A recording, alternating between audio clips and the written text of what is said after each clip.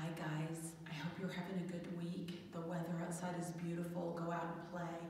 I have missed you so much. I hope you are noticing the things around you start to bloom. Happy Easter. Yes, it's still the Easter season. You thought eventually I'd quit saying it, didn't you? But not yet. This week, Paul is sharing a story about a person named Tabitha. And sometimes she's called Dorcas. Interesting because in the Jewish it's Tabitha and in the Greek it's Dorcas. And when we read the book of Acts in Paul, he gives us her name in both languages. Her name matters. Do you know what her name means? It means gazelle. You know what a gazelle is. It's those beautiful deer that are graceful and they leap. Well, Dorcas is graceful and, and she leaps into people's hearts if you read this short.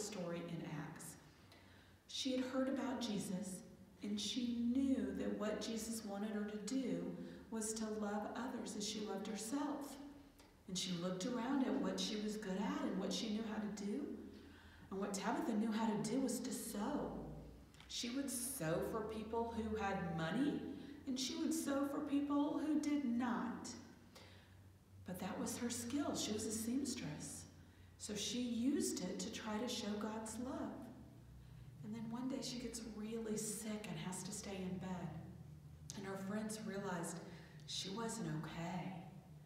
And the Bible tells us Tabitha died. But her friends didn't give up hope. They went and found someone. They went and found Peter. And if you remember, Peter is one of the disciples. And we think about the disciples as being those 12 men who did things with Jesus. But you know what's funny about Tabitha? In Acts, it says Tabitha was a disciple. She's the only woman that they ever say that about.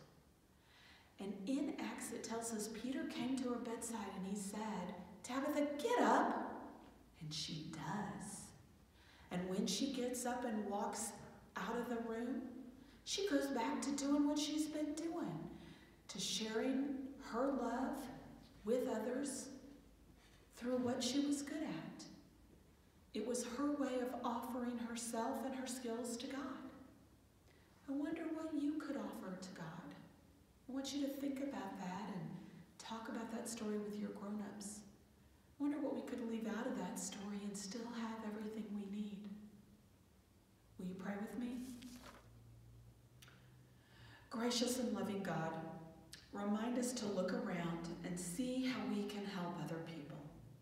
Thank you for story about people like Tabitha, who remind us of how very big your love is for us and how very important we are to you. Amen.